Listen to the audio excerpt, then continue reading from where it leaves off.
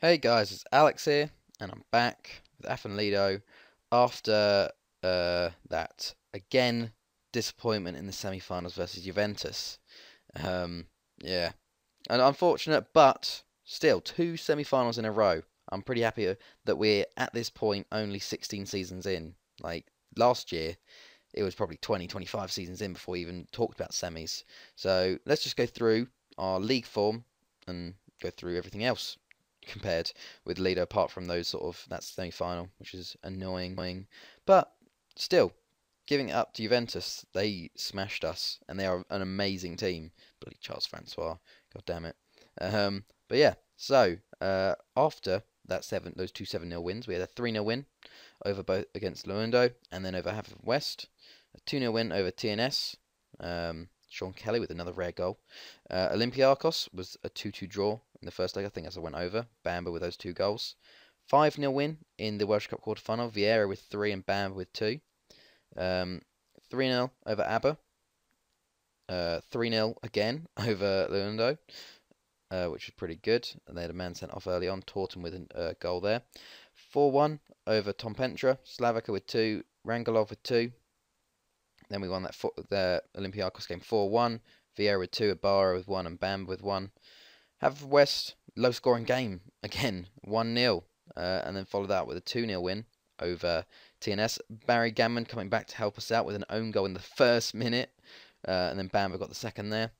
Welsh Cup semi-finals against West End. Franco Coric, Jean-Louis Boyer, Diarra and Yunus Bar all got goals. Then we had that first Champions League quarter-final leg versus Zenit, which we won 2-0. Dom Chanic and Bam with goals. And then between the legs, we had Ton Pentre, 2 0 win, Veselinovic and Ibarra with another goal.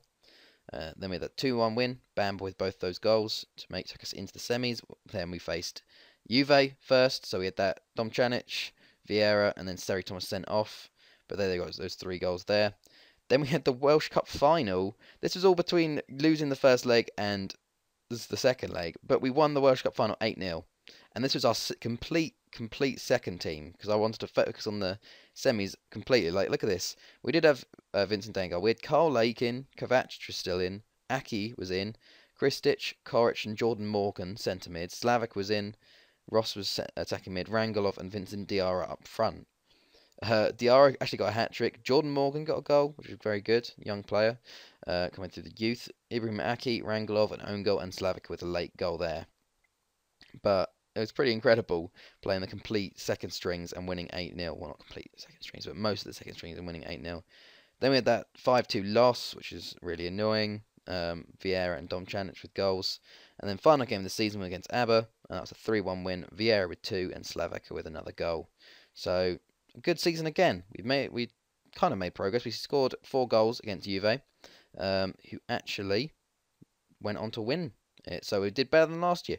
Real Madrid uh, actually losing the final this year, losing 3 0 to Juventus. So we've lost the champions. That's a lot better. Charles Francois getting two in the final, and then Alexander getting one there.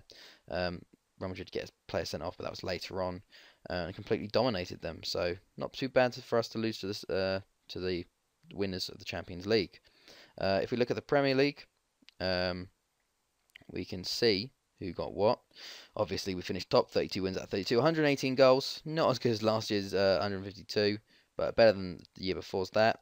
Only conceded five goals all year. Now, I'm fucking impressed with that. Like, over 32 games, only conceding five, which is pretty fantastic. Um, and never conceded two goals against a team. So that's pretty good. A goal difference 113, 96 points. TNS finished in second, so they get that uh, Euro Cup place. Luendo they are going to be the first team, other than us, going to be in in the European group stages. They're going to go into the Euro group stages. It's going to be incredible. ABBA finished fourth, and Tom Pench and West going down was Rhydymwyn with 24 points. They actually made up a lot of ground on everyone else, uh, but couldn't get avoid the drop. Carmarthen also go down with them. Barry survived with Bangor, Conwy, and Real. Uh, if we look at the stats for the season, um, we had three players in the top five goal scorers but uh, Toshak's for real top goal scorer. Average rating, we actually didn't have anyone because we've sort of completely focused, I guess, on the um, Champions League. Uh, we did have people up there for assists as well. If we look at the awards, I guess, which would probably be better um, sort of value of it. Manager of the Year, guess who won it? Me, again. Um, lower, I don't know what the points actually. Mean. I guess it's sort of calculated by who votes you where, but it doesn't sort of show you who votes for who, which I'd quite like to see actually. It's like what managers vote for you and who like who they vote for and all that. Play of the year actually went to Juan Carlos Ibarra. 18 appearances, 4 goals, 9 assists. Very good stuff by him. Um, so it's quite good from him. Team of the season. Um, Ibarra is actually in it. It's a miracle, boys. It's a miracle. Um, Baracus was in it, so only two um, Lido players. But if you look in there, there's a lot of former uh, uh, players in there. We got Josh Sampson, who is our former youth keeper, who's now on an amateur contract with TNS, and is now their starting goalkeeper. He's in there. Uh, we got Mark Howes, right mid. Uh, he plays for Conwy. He was lit. He's actually gone on loan to them this year, so very good to see him going on loan, getting team of the year.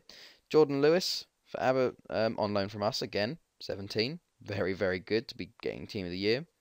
Then you've got Barry Gammond, who we just let go, did well, got in team of the year. Terry Rees from Haverfordwest, who we let go quite a while ago now, actually to TNS. He's moved to Haverfordwest and got in team of the year. And then Carl Taylor for TNS, uh, 27 now. Um, we actually was bought for money. Look at that, bought for 14.25k by TNS this year, and he's done really well for them. So starting to see a lot of my former players coming back up and doing well in the league, which is quite nice to see. Um, if we look at our own squad, you can sort of judge it. Obviously, Bamba, 40 goals in 24 games. Pretty ridiculous with 8 assists. Vieira, 28 goals, 11 assists in 29 games.